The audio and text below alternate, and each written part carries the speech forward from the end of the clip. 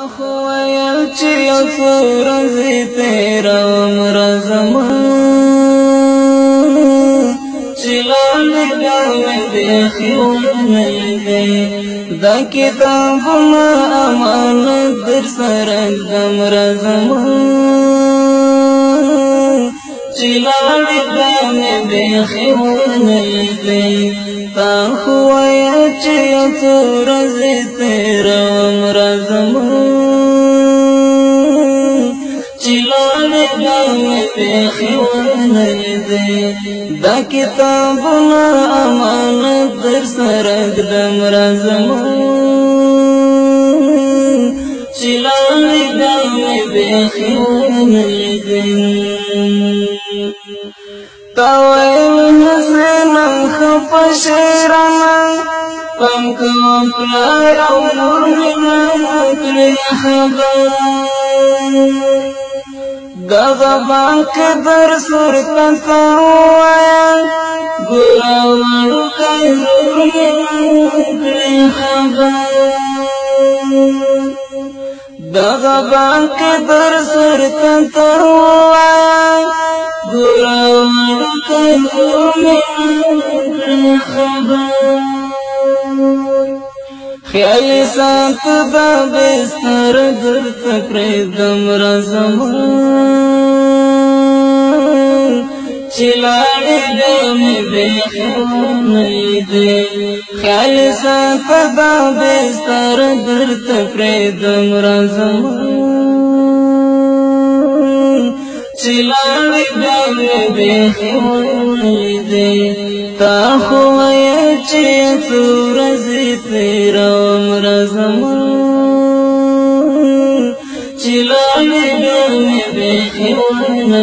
دي دا کتابونه امانت در سره دم راځم چې لاړې دا مې بيخي ملګم ستا کتاب ما مسافر درتا شهید یار ترازه تمام استاد دې مونږ ته بار بار پوښتنه ای گل نگار ترم سیو کنم استاد دې ملک وي بار بار پښتنه ای ګل نگار تر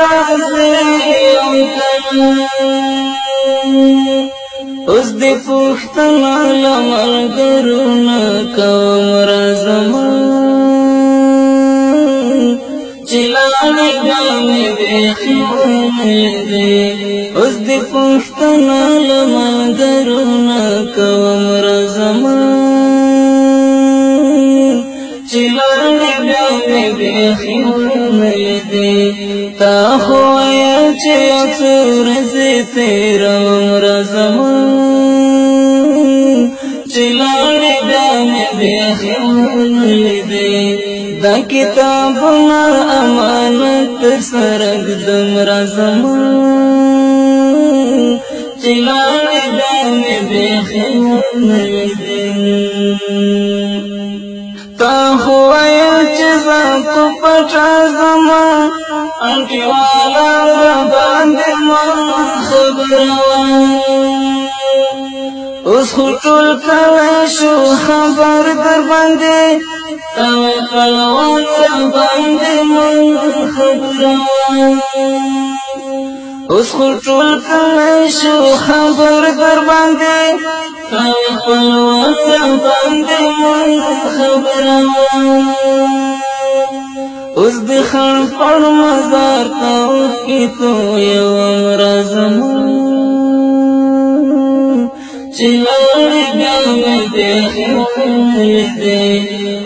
خان پر مدار توف کی تو یو عمر زمان چلاڑی دامی بیخونی دی تا خوایا چیو کورزی تیرا عمر زمان چلاڑی دامی بیخونی دی دا کتابنا امانت در سرگ دم را زمان لیدل دې خیر دې لکه چې لاره تر قیامت پورې د شهادت په خوب مې دنشي جانا لاره بر ګورم درک دې مشتان چې دې ولا جون ته مشوي جانا لرا برګورم درنګ دې نشتا چیرته دې ولا چون څنګه شوي جنم تاوي څنګه کلام در سر زم رزم چلاړې باندې دې